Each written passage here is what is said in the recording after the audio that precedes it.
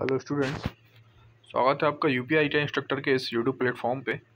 जैसा कि आप स्क्रीन पर देख पा रहे होंगे कि भारतीय रेल बनारस रेल इंजन कारखाना, जो कि वाराणसी में है, इसने आईटीआई बैच के लिए और नॉन आईटीआई बैच दोनों के लिए अप्रेंटिस हेतु आवेदन पत्र मांगे हैं, जिनकी ऑनलाइन आवेदन करने की अंतिम तिथि आप देख पा रहे होंगे 26 चार 2022 को शाम को पौने पाँच बजे तक रखी गई है। साथ ही साथ ऑनलाइन भुगतान करने की अंतिम तिथि छब्बीस चार दो हज़ार बाईस लास्ट डेट इसमें रखी गई है। जो भी कैंडिडेट्स आईटीआई करने के बाद अप्रेंटिसशिप करना चाहते हैं, वो भारतीय रेल, बनारस रेल इंजन कारखाना से अप्रेंटिसशिप कर सकते हैं, जिसमें अप्रेंटिस एक्ट 1961 के तहत निम्नलिखित ट्रेडों में अभ्यर्थियों से अप्रेंटिस के प्रशिक्षण हेतु आईटीआई 300 एवं नॉन आईटीआई में चौहत्तर सीट्स हैं, जिसके लिए रेलवे बोर्ड ने जो है ऑनलाइन पोर्टल के तहत आवेदन पत्र मांगे हैं। यानी कि जो भी कैंडिडेट्स भारतीय रेल बनारस इंजन कारखाना से अप्रेंटिसशिप करना चाहते हैं, वो इसकी ऑफिशियल वेबसाइट पर जाकर यहाँ से अप्लाई कर सकते हैं। देखिए, अगर मैं पहले आईटीआई रिक्तियों की अगर मैं विवरण की बात करूँ तो आप देख पा रहे होंगे कि फिटर में ओवरऑल 107 सीटों पर आवेदन मांगा गया है और कारपेंटर में तीन सीटें हैं। पेंटर के लिए सात सीटें मशीनिस्ट के लिए टोटल सड़सठ सीटें और वेल्डर के लिए पैंतालीस इलेक्ट्रीशियन के लिए इकतीस और टोटल आईटीआई के लिए अगर मैं बात करूँ जो अप्रेंटिसशिप की सीट्स खाली हैं, वो ओवरऑल 300 हैं। साथ ही साथ अगर हम बात करें नॉन आईटीआई ट्रेड्स के बारे में तो यहाँ फिटर के लिए 30 सीट है। कारपेंटर और पेंटर के लिए कोई भी सीट उपलब्ध नहीं है। मशीनिस्ट के लिए 15 और वेल्डर के लिए 11 इलेक्ट्रीशियन के लिए 18 सीट टोटल चौहत्तर सीटें अवेलेबल होंगी। इन टोटल आईटीआई की सीट्स में से तीन परसेंट और नॉन आईटीआई की सीट्स का तीन परसेंट, यानी कि नौ सीट आईटीआई की और तीन पर, दो सीटें नॉन आईटीआई की, जो हैं वो दिव्यांग कोटे के अंतर्गत सेव रखी जाएँगी, यानी रिज़र्व रखी जाएँगी। देखिए, अब बात करते हैं जो कैंडिडेट्स ईडब्ल्यूएस से ये फॉर्म फिल करना चाहते हैं। मैं उन्हें बताना चाहूँगा कि जो आपका इनकम सर्टिफिकेट है वो एक सात दो हज़ार इक्कीस के बाद का होना चाहिए।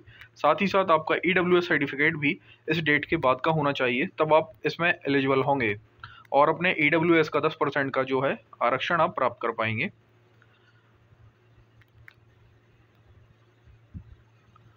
अगर मैं बात करूँ इसकी शैक्षणिक और तकनीकी योग्यता की तो जो नॉन आईटीआई से अप्रेंटिसिप करना चाहते हैं, उनके लिए ट्वेल्थ पास होना ज़रूरी है। या वो हाई स्कूल पास भी होना चाहिए। साथ ही साथ पचास परसेंट उसका परसेंटेज होना चाहिए।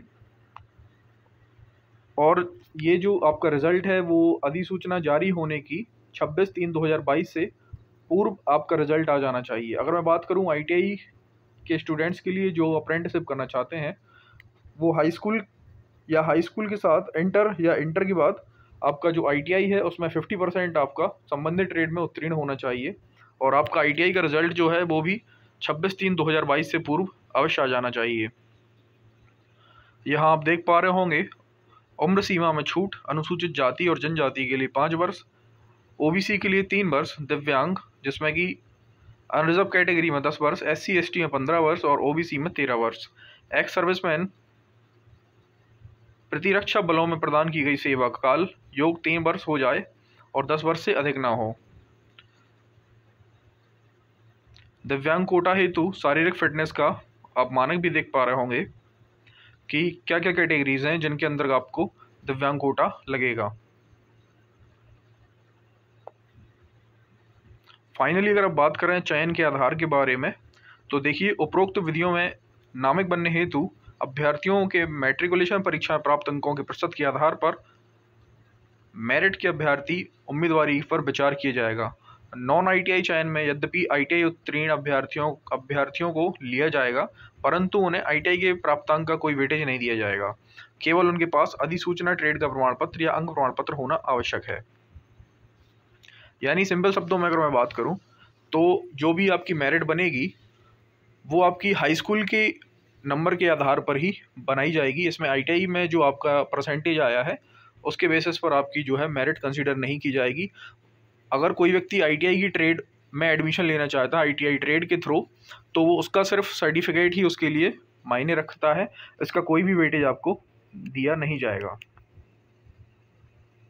अगर बात करें आवेदन शुल्क की तो सौ रुपये इसका शुल्क है, जिसमें आप किसी भी मोड में debit card credit card internet banking के माध्यम से आप इसको पे कर सकते हैं फॉर्म को फिल करने के बाद। अंतिम तिथि मैं आपको बता चुका हूँ ऑलरेडी ये कुछ एडिशनल इन्फॉर्मेशन है कि आपका जो फ़ोटो है वो रंगीन होना चाहिए बैकग्राउंड सफ़ेद होना चाहिए, चार बाई पाँच सेंटीमीटर की आपकी फ़ोटो होना चाहिए। ट्रेनिंग के दौरान आप कोई भी उपद्रव ना करें ट्रेनिंग को अच्छे से कंप्लीट करें और सेम नोटिस आपका ये जो है इंग्लिश में प्रोवाइड किया गया है। तो ये थी आज की खबर। तो जो भी उम्मीद, इच्छुक उम्मीदवार भारतीय रेल इंजन कारखाना बनारस से अप्रेंटिसिप करना चाहते हैं, वो इसमें अप्लाई कर सकते हैं।